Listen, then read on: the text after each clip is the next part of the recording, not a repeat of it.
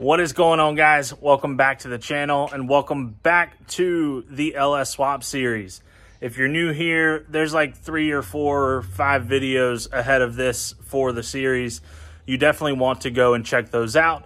But today is gonna be a pretty important one because today we're powering everything up.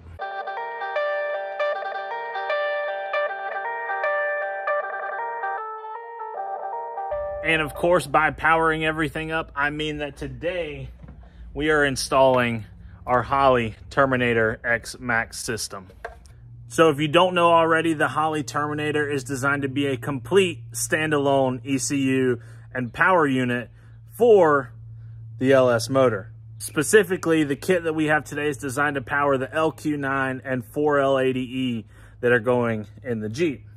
Well, that are already in the Jeep. And because this harness is designed specifically for that setup, the installation's really pretty straightforward. So without wasting any more time, let's go ahead and start plugging some stuff in. So just to kind of fill you guys in on the process, when you order your kit from Holley directly, there's a lot of questions that you're gonna have to answer. Like, what motor is it? What injectors do you have? What transmission are you gonna use? There's a lot. And the reason for that is because they're going to design the kit specifically based around the parts that you already have. That's going to save you a lot of money not having to go in and replace everything. So instead of this being a one size fits all kit where it's really up to you to make sure that your injectors and sensors and the rest of your plugs work, Holley kind of takes the guesswork out of it. Now I know most of you guys are probably just like me and as soon as you see instructions, you toss them. In this case, however, you probably want to hang on to these just because they have a lot of really helpful tips, especially when you go to actually start this thing up. With that said, however, I'm going to go ahead and get to installing the harness itself because everything on that harness is labeled and it can really only plug into one spot.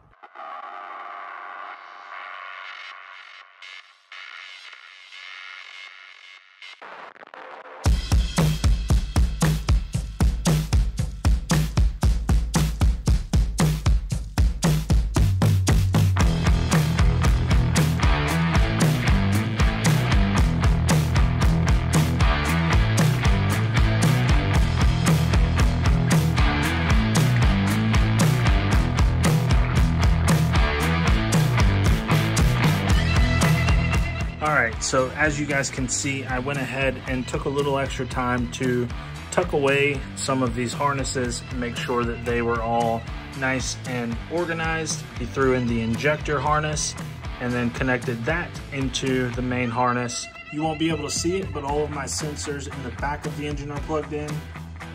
And I went ahead and ran the main harness over to the passenger side and the reason for that is because I'm actually going to house the Terminator system inside the cab just to keep it out of the elements.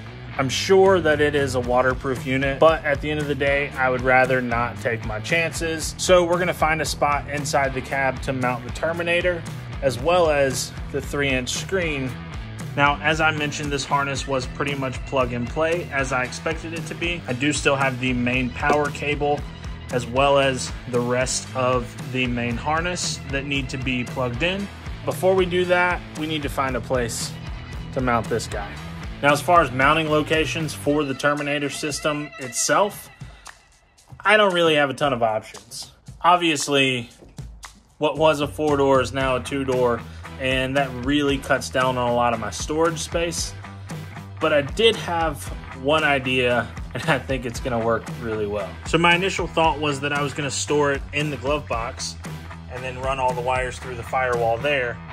But what I realized was the Terminator itself is actually too big to fit inside the glove box. So I came up with this idea and I think that it's gonna be pretty ingenious. However, it does mean that I'm going to lose my glove box, which is also one of the last places for storage that I have in the Jeep. But who needs storage? It's not a daily driver. We're building a rock crawler and I'll find somewhere else to put my napkins. So I took the glove box out and actually removed the handle and then I used a plastic pry tool to separate the front cover. And now when I reinstall the handle, the hinges and handle are still on the cover, which means that our glove box door will still slide into place and close.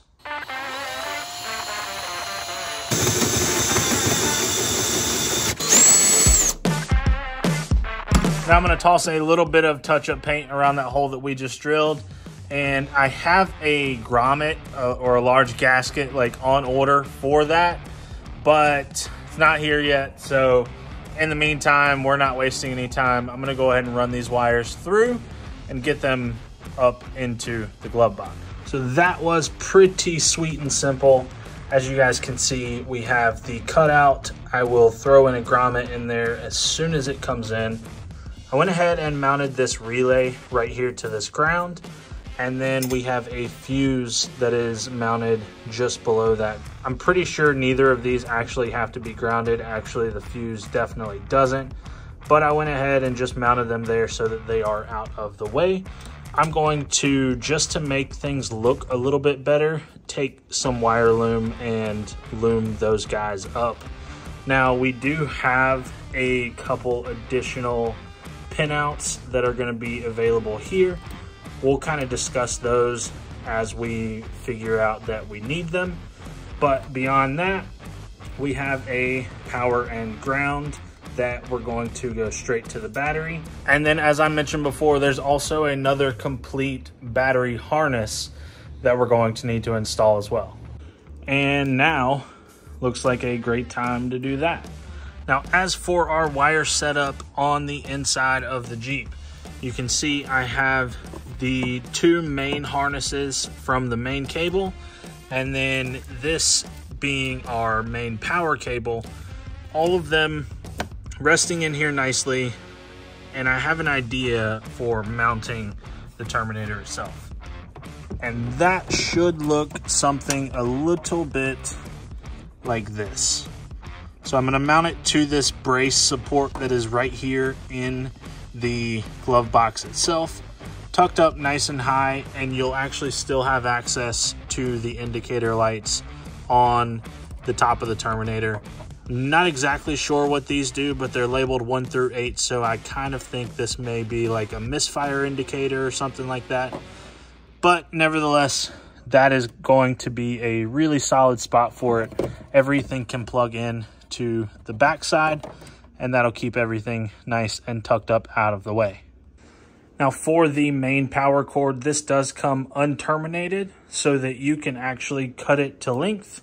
And as you can see, I've got way too much. So we're gonna cut this back quite a bit all the way until about here. And that should give us what we need to be able to connect to the battery. Speaking about the battery, the battery that I put in here about six months ago is completely dead. So I'm gonna run that over to the parts store and see if I can't get a replacement.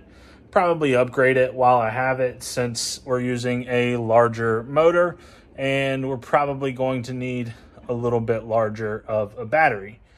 Now I still haven't ran any of my battery cables just yet or mentioned this to you guys, but that's, uh, we're going to talk about that. That's pretty cool. Now, since I am using the 4L80E transmission, I was able to get a transmission control harness. So wiring up the transmission is super sweet and simple. Of course, you have your main harness. There's only one way that it can go in. And then you have your turbine speed at the front and vehicle speed sensor at the rear and that will take care of the transmission from the wiring side of things. Of course, we still have to figure out all of the shifter bracket stuff. Now, when it comes to installing all of the harnesses, you really can't mess this up. Each of these harnesses will only go into one slot, so safe to assume if it fits, you did it right. And just like that, with a couple of very well placed self-tapping screws into the support beam of the dash. We have our unit installed. It is nice and secure and simply out of sight. And would you look at that, I just so happen to have a second Pro Clip that I've used for my phone for like the last five years. I found another one that I had laying around. So with the second Pro Clip, it is going to make installing an absolute breeze for the Terminator control unit. So of course I'm gonna tuck away the wire for the screen, but come on, it doesn't get better than that. Now, a pretty important piece to this entire system is the simple fact that our stock Jeep accelerator pedal is not gonna work anymore. So I went ahead and ordered the drive-by-wire system from Holley and picked up one of their accelerator pedals. But that means that this one has got to come out and we've got to figure out a way to mount the new one in.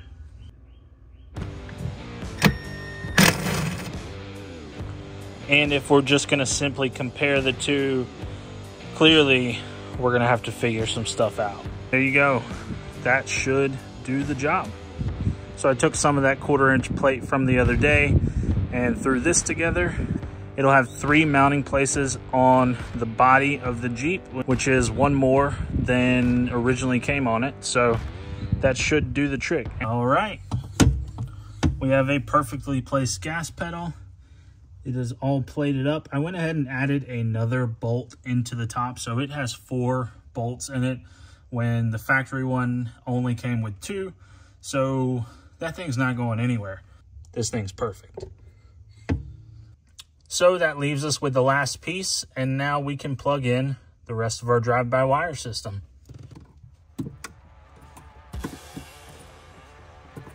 So there's one last piece of the wiring that we're gonna focus on today, and that is the fuel pump. As you guys can see, we have the green wire, which is going to come from the Holley harness. That is what's gonna power our fuel pump. So I went ahead and added a little bit of length to it with this red wire, added a fuse in line. And I don't know how well you guys will be able to see, but we have a blue wire with an orange chaser. That is the 12 volt power for the stock fuel pump. You guys probably don't have as easy of access to it as I do, but nevertheless, that is going to power up our fuel pump. Now, Holley says if your fuel pump pulls more than 15 amps, you need to run it through a relay and have that green wire simply power the relay. I searched just about everywhere that I could online, wasn't able to find out how much power that factory fuel pump draws. So this may need to be revisited in the future, but I went ahead and threw a 15 amp fuse into that fuse holder. So we'll never find ourselves in a position where that's going to become an issue without first blowing that fuse. But that is just about going to do it for the wiring on the Holley system. There's one more wire, however, that we do need to address, and that's this guy, but that will be for next time. Make sure that you have subscribed if you haven't already. Like this video, drop a comment, tell me everything that I'm doing wrong. I'm pretty sure that I got most of this right. But of course, we're not gonna actually know until the day comes that we turn the key. So until then, I will see you guys in the next video.